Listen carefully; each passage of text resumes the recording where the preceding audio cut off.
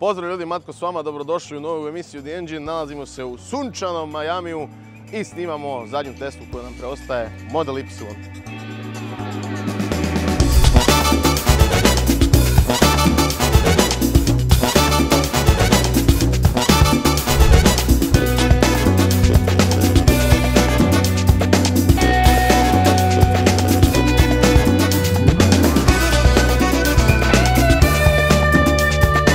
Dobrodošli u još jedan video od našeg Car Vertical Las Vegas Tura 2023. Naravno sve ovo ne bi bilo moguće bez našeg dragog Car Vertical, našeg dragog stalnog sponzora i partnera koji nam je sve ovo omogućio. Car Vertical i naravno stranica za povriju povijesti vozila. Ako kupujete ili prodajete rabljeni automobil, obavezno provjerite svoj auto na Car Verticalu.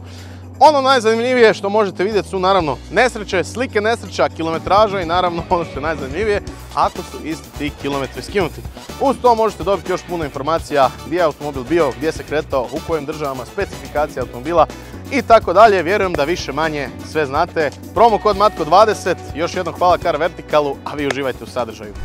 Tesla Model Y, Tesla je model za široke mase koji se počeo proizvoditi 2020. godine. Zašto kažem za široke mase? Zato što ima sjajni cjenovni rang, točnije uz Model 3 je zaista dosta povoljniji od drugih Teslinih modela, odnosno od modela S i modela X. Iako je Elon Musk za 2024. petu najavio nekakav e, novi entry level, neku još manju Teslu sa ovoga, još boljom jeftinijom cijenom. Što se tiče range tu imate naravno taj range je nekako prva stvar koja pada na pamet ovoga kad pričamo o električnim automobilima, koliko mogu preći, koliko mogu preći. Pa sad range ovisno o snazi, ovisno o opremi koju uzmete može preći između nekakvih 350 i 550 ovoga kilometara po VLTP-u. Što se dizajna ovog automobila tiče, uh, dizajn otprilike Rekao bih Tesla Model 3 na steroidima. Znači, prednji kraj mi je onako identičan kao Tesla Model 3 nešto malo masivnija svjetla, zapravo nešto cijeli auto, ajmo reći ovoga, nešto malo masivniji. Sviđa mi se što je prednji kraj ovako savršeno čist, pogotovo to dobro izgleda ovdje u Americi gdje prednje tablice ovoga ne morate imati. I ovako jedan Tesla logo čisto onako, jedan auto koji na cesti malte ne prođe neprimjetno, odnosno prošao bi da ih nema toliko puno. Kad smo već kod prednjeg kraja, kad smo već kod prednjeg kraja pokazat ćemo prednji ovoga prtljažnik. Inače ovdje imam karticu Imate naravno i onaj normalni ključ, s njim možete otvarati. Mi smo dobili karticu, s, njim možete, s njom možete zaključavati i otključavati vaš automobil. Otprilike tu negdje vam je senzor.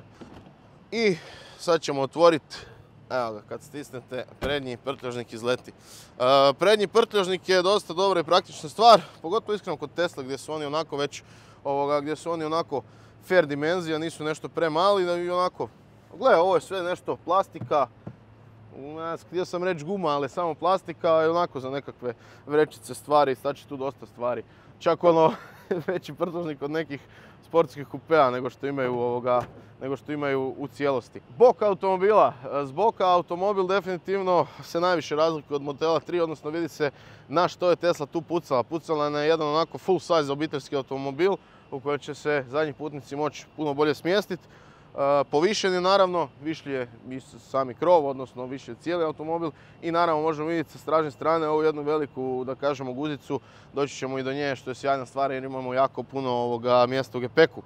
Ono što možete primijetiti su recimo kamere po automobilu, tako ih imate naprijed, tako imate i ovdje. I ovoga, to je generalno ono, jedno od odlika Tesla da imate kamere. dosta koriste u vožnji jer ove kamere vam mogu pratiti mrtvi kut kad date žmigavac, odnosno pokazuju vam mrtvi, kut. A ono što treba još istaknuti naravno, isto što smo imali na modelu 3, to su ove Tesline kvake koje su, a vidi, praktične su, ne mogu ja reći, kad idem ući u auto, dođem s ove strane i razumiješ, otvorim, nije to neki problem. Ovoga, međutim, realno bi one običnije bile još praktičnije. Što se felgi tiče, felge su nam uh, dvadesetke i ovo tu konkretno su felge. Znači ovo su baš felge. Obično imate, imate ovoga, one, da kažem, ružnije ili slabije felge, pa budu one obične koje zapravo imaju preko sebe onaj plastični nastavak ovoga nabijen, međutim ovo su stvarno prave felge. E, crne su, znate da sam ja ljubitelj crnih felgi, pogotovo ovako, eto, crn auto, zatamljene šajbe, crne felge, e, sve tip top. Dolazimo do zadnjeg kraja, ovdje da pokažem čisto ovoga mjesta na koje se Tesla Model Y ovoga, opa, dakle puni. I što se zadnjeg kraja tiče, ono, pljunuta Tesla. Mislim, Model 3 i Model Y zaista su, da kažem, braća. I isto tako imamo svjetlosnu grupu sa modela 3. Dosta izgleda masivnije, veće, jače ovoga, ali ne mogu reći da je sad on nešto predivan, eto iskreno. Sa, sa strane naravno Tesla logo i oznaka Dual Motor s obzirom da na ovom automobilu imamo dva elektromotora, jedan naprijed, jedan nazad. Mogu odmah i to spomenuti, pošto nemamo haubu da dignemo i pokažemo motor i pričamo o motoru. Konkretni auto, na primjer, na testu je onaj sa 351 konjskom snagom, 537 Nm. Ovoga, ima dva elektromotora, naprijed 200 konja i za 275. Znate da kod električnih automobila jedan i jedan nisu dva, nego 200 plus 275 i 351 konjska snaga. Uparen sa jednostupanjskim automatskim mjenjačima, ali to su u električnim automobilima i onako nije briga. Ono što bi još spomenuo, od 0 do 105 sekundi i sami domet vozila, kažem, po PLTP-u preko 500 litara. Ovo, ovo je jedna od najvećih prednosti Tesla Model Y. Preko 800 litara prtljažnika, pazite, u ovoj klasi vozila nisam siguran da ćete to igdje dobiti. Također, kad se digne duplo dno, ispod imamo dosta veliku rupu i dobro je što ovo dno samo stoji. Tako da jako praktično su to sve u Tesli napravili i odradili. Apsolutna pohvala za prtljažnik. Još je dobra stvar što su samo vrata, znači hatchback, što se sve diže, nema praga, vidi. definitivno možemo zaključiti da u klasi boljeg prtljažnika nema. Nema, ne postoji. Kad spustite sjedala, by the way, imate preko 2000 litara, što je ono nemoguće. Nalazimo se na zadnjoj klupi Tesla Model Y i ovo je također jedan od dijelova ove Tesle koja ima ovoga, koji je najbolji, odnosno najveća prednost u odnosu na bratski Model 3. Zašto kažem bratski Model 3? Zato što Model S i Model X su na jednoj platformi, Model 3 i Model Y su na drugoj platformi. Ono je puno povoljnije, jeftinije i lošije, da kažemo. to sam kritizirao u vožnji modela 3 i još neke stvari, međutim iskreno Model Y ima, osim što ima sjajan prtljažnik, ima sjajnu zadnju klupu. Što je s tim Tesla postigla? Pa automatski je postigla da postane jedan ono sjajan električni obiteljski automobil kojeg će po tom pitanju jako teško neki auti stići. E, što se tiče pozicije sjedanja, odnosno sjedanja u Tesla Model Y, mjesta za koljena pregršt. Mjesta za ovoga, noge same dole, za stopala, možete podvući, možete što hoćete. Pod savršeno ravan, tri putnika ako se trebaju smjestiti, nikakav problem. E, sjedala su kožna, udobna su, e vidi ovo, e, ima, e, ima, dobro je, dobro je. Imamo središnji naslon za ruku sa dva cup holdera, ovoga, i mjesta za glavu zahvaljujući staklenom krovu, gledajte ovo. S obzirom da ima padajuću liniju, u nijednom drugom autu baš ovako mjesta neću imati, tako da što se toga siće, Tesla odradila sjajan posao.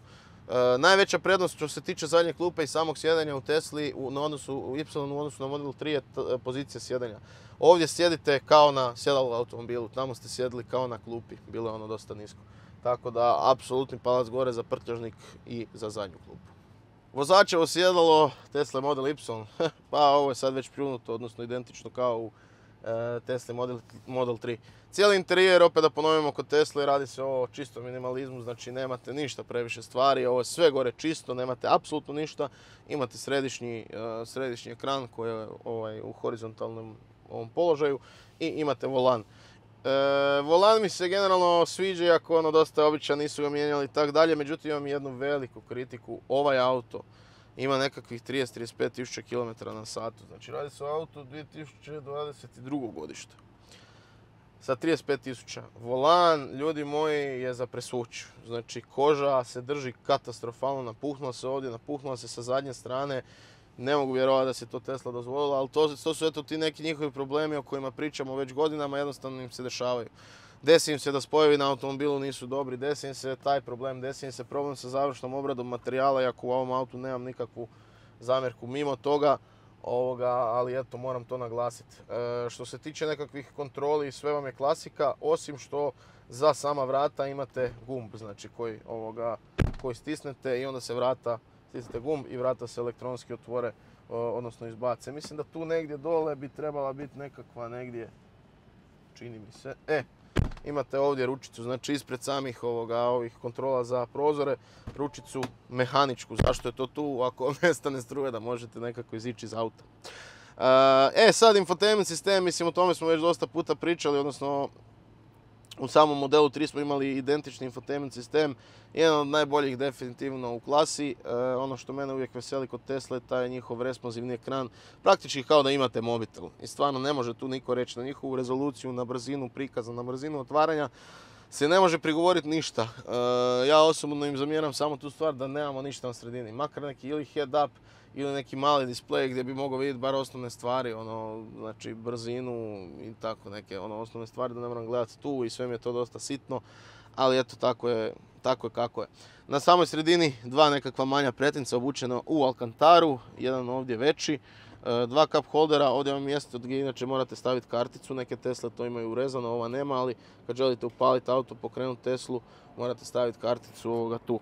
Imamo veliki ovoga, ispod naslova za ruku s udičnicom 12 volti i što se samih sjedala tiče, ona klasična Teslina kožna sjedala, e, rekao bih udobna, dobra bočna potpora gore dole, dosta su i mekana i sve. E, jedno što mi se čine malo, malo, malkice ovoga uska. Idemo se voziti. Vozimo Teslu Model Y. Oko mene ćete vidjeti nešto malo sirena, ali to je samo jedno normalno jutro u Majamiju. Prva i osnovna stvar koja je definitivno razlika u odnosu na Model 3, e, rekao bih ovjes. Model 3 je bio, mislim i ovaj je dosta tvrđi recimo u odnosu na S i X, ne može se usporediti. Međutim, Model 3 je bio baš, baš jako tvrd ovoga. Toliko tvrd da je smetalo. Za ovog možemo zaključiti da je tvrđi, ali se generalno vozi normalno. Tesla Model Y od kad je, od je izašao zapravo je odmah imao jako dobre prodajne brojke, a zapravo trenutno bilježi najbolje brojke, odnosno najprodavaniji električni automobil kako u SAD-u, tako i u Europi. Iskreno to ni ne čudi, ima relativno dobru cijenu, znamo da su ovoga Teslini električni, ovoga, električna njihova motorizacija, njihovi sklopovi da su dobri. Kad svemu tom pridodate ovo što su oni dodali u ovaj auto, to je M hrpa tehnologija, ali kažem ono što je najvažnije e, ljudima za svakodnevnu upotrebu ovoga i da bi koristili automobil kao obiteljski je naravno taj ogroman prtljažnik sa jako dobrom i velikom ovoga zadnjom klupom. Sve to kad zbrojite za tu nekakvu cijenu dobijete zaista ovoga super kombinaciju. Auto se proizvodi inače na tri kontinenta, u Kini, Njemačkoj i SAD-u recimo zanimljiva stvar da u Kini nisu toliko bajne brojke, ali opet recimo ne možete to usporediti zato što prosječni novi električni automobil u Europi je plaćen 65.000 eura, dok je u Kini to 31.000 eura, tako da kod njih su ipak već zavladali njihovi kineski modeli. Pitanje, pitanje samo vremena kad će se proširiti, odnosno već su počeli i na naše prostore, ali do tada ovoga primat drži Tesla Model Y.